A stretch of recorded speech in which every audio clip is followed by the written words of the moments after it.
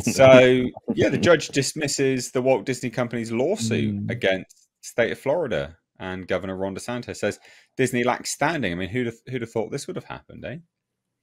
Who'd have thought this would have happened? So what's um what what what well what was said basically, right?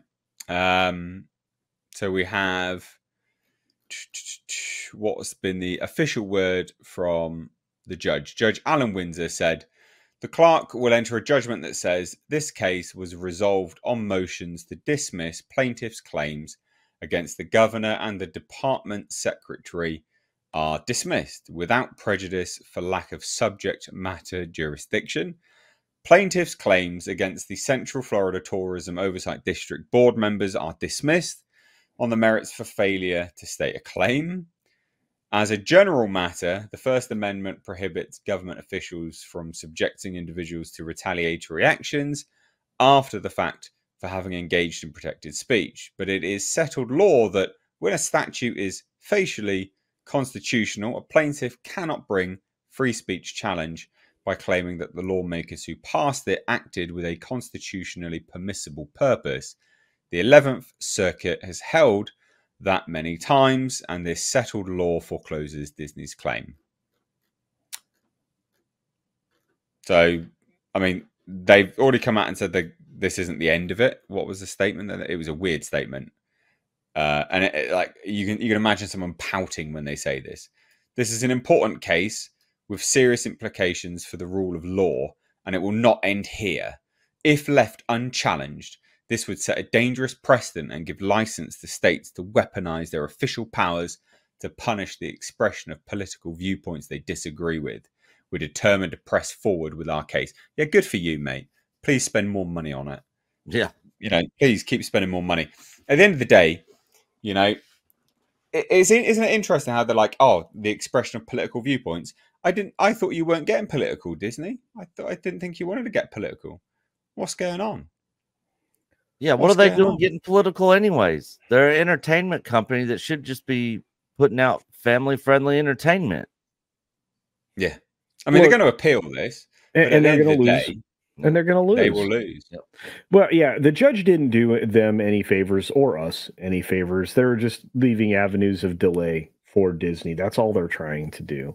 Yeah. You know, and Disney Disney's a hollow suit on this one because eh, had the judge dismissed this properly with prejudice, it would have meant they couldn't bring in the action again. And you know, then they would have been fighting the federal government to, you know, get that overturned. But honestly, if he'd done it with prejudice, it would have saved everybody else time because they they have no standing. When you look at it the way it was described, they didn't bring they didn't bring anything that had merit. And as they pointed out, if this is a constitutionally protected action, and you know it wasn't a suppression of your speech to re you know re, re reform what district was there you know and for what purpose. The state has done that many times and they looked over i don't know 1900 different districts for for that kind of treatment. So i like i said all in all we knew they were going to lose this we've been talking about the fact that they were going to lose this free space free speech or no no no speech was violated they can say whatever they mm. want it, it, none that's why it was dismissed because of the merit or the lack thereof and and they didn't present anything that would have fallen within the the case so there you go well, I guess yeah. I mean, that that point is well, you know, we we're being punished for it. Well, as as left wing people always say, freedom of speech doesn't mean that it's free from punishment or free from con- consequences. Yeah. So, yeah, yeah. I just, I, is anybody here surprised? I think that's the most pertinent question. I, am not. I, I didn't think they had a case to to begin with.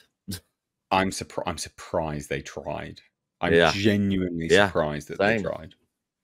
Because I, yeah, it's an odd one that they I, thought that this would be successful.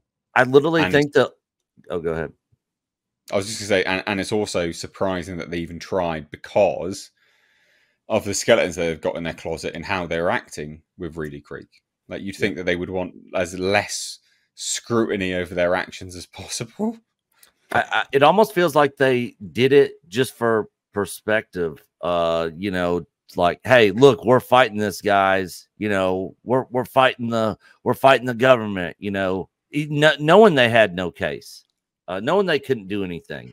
Um, so I, I I think it's more of more like an image thing. Yeah, they thought they'd have right. the court of public public uh, yeah opinion on their hands when really most of the public don't care. Uh, well, and the mm. other side of it is, is that it was it a gangster move on DeSantis's part? Yeah, but he's well within his rights to do it because Reedy Creek and Disney are not the same thing. Yeah. Not only that, Disney should not be treated in a way that they are the same thing because otherwise yeah. there are tons of violations involved there. Yeah.